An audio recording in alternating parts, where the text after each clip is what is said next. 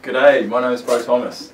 I want to show you today, uh, we'll really flesh out a bit more about dynamics and playing between verses and chorus.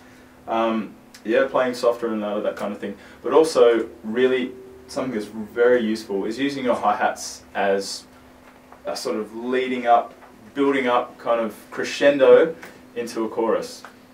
And it's, it's very easy. I'll give you a bit of a, a demo.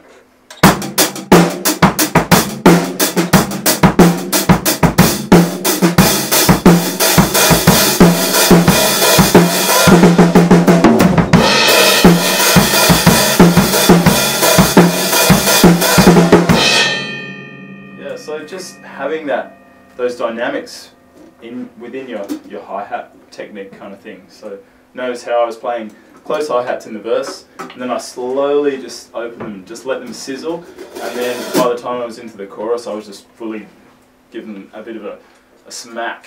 So yeah, it's it's a really good technique to to um to master because it'll allow you to support the song more, play play for the song, um, and, and be a better musician really.